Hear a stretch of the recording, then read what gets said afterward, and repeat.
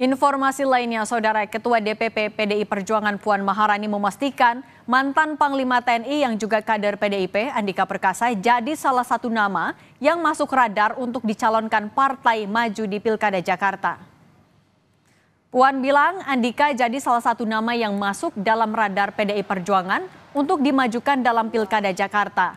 Puan juga menyebut nama-nama yang dikaji PDIP akan didiskusikan dan dikomunikasikan dengan parpol lain.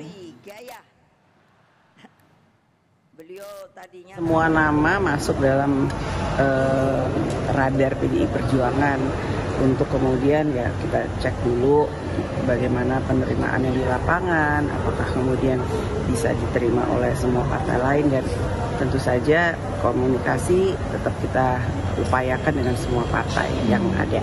Tapi Andika itu emang diprioritaskan ya? Ya menjadi salah satu nama yang kemudian kita coba untuk masukkan dalam uh, uh, salah satu calon.